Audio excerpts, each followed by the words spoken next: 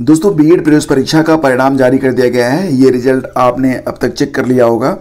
आपको बता दें कि कुल मिला के देखा जाए तो लगभग दो लाख तिरपन हज़ार सीटें हैं बी एड के लिए। दो लाख तिरपन हज़ार। और इसमें कुल मिला के सात हज़ार आठ सौ। ये सीटें गवर्नमेंट की हैं। यानी कि यहाँ पर आपको फ़ीस बहुत कम लगती है। बाकी देखा जाए तो लगभग दो लाख पैंतालीस हज़ार सीटें और भी हैं। दो लाख पैंतालीस हज़ार दो सौ बीस। कुछ सीटें भी बढ़ने वाली हैं। तो लगभग कुल मिला के दो लाख तिरपन हज़ार लोगों का एडमिशन बीएड में इस साल होगा।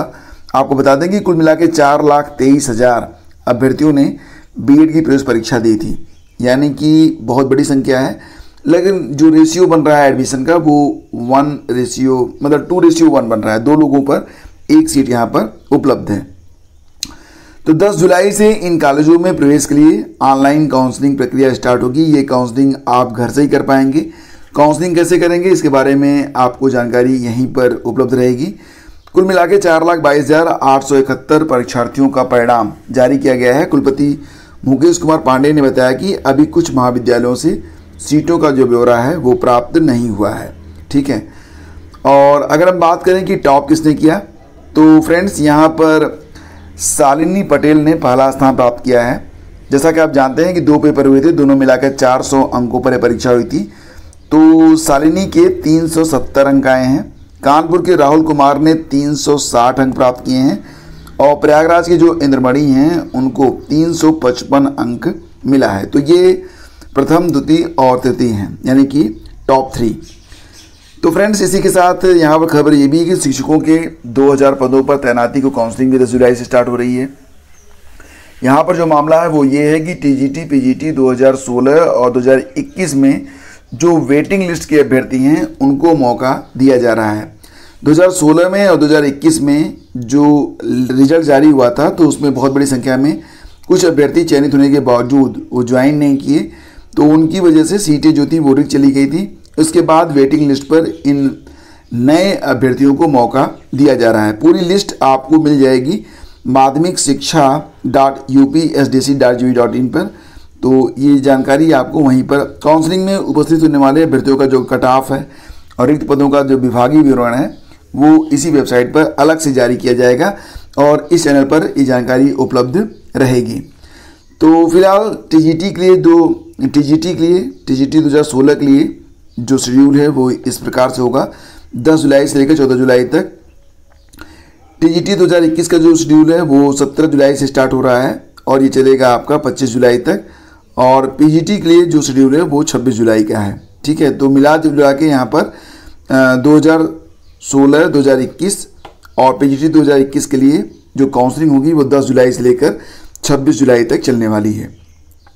ये जो आपका टाइम टेबल है, इसको आप ज़रूर देख लीजिएगा। हालाँकि time table study Vigyan Prakash dot com और टेलीग्राम चैनल पर भी उपलब्ध रहेगा तो वहाँ पर भी आप कभी भी जाकर चेक कर सकते हैं। ये जानकारी आज के कई अखबारों में प्रकाशित हुई है। 10 जुलाई से होगी प्रतीक्षा सूची से शिक्षकों के रिक्त पड़े 2000 पदों पर काउंसलिंग।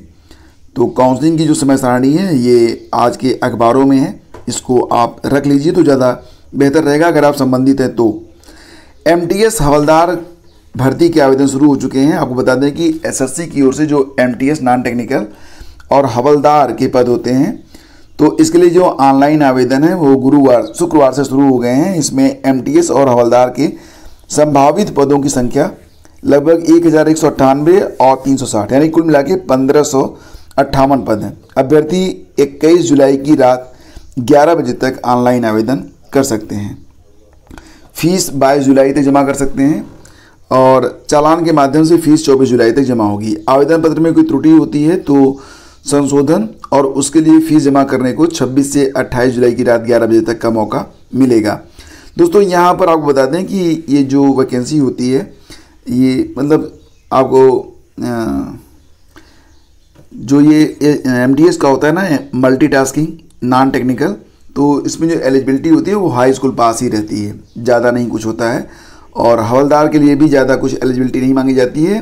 लेकिन सैलरी थोड़ी कम होती है। अगर एक गवर्नमेंट जॉब की तलाश में है तो यहाँ पर भी आप एक बार एग्ज़ाम दे सकते हैं और एग्ज़ाम बहुत ख़ास टफ नहीं होता है।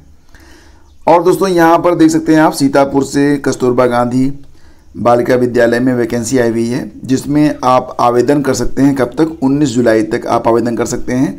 बाईस हज़ार रुपये मंथली आपको मानदेय मिलेगा। यहाँ पर हिंदी अंग्रेज़ी, गणित, विज्ञान सामाजिक विषय, शारीरिक शिक्षा, कंप्यूटर, कला, क्राफ्ट, इसके अलावा लेखाकार रसोइयाँ सहायक रसोइयाँ चपरासी, चौकीदार वगैरह के पद हैं। कुल मिला के पदों की संख्या सैंतालीस है। इसके लिए ऑनलाइन आवेदन नहीं होंगे।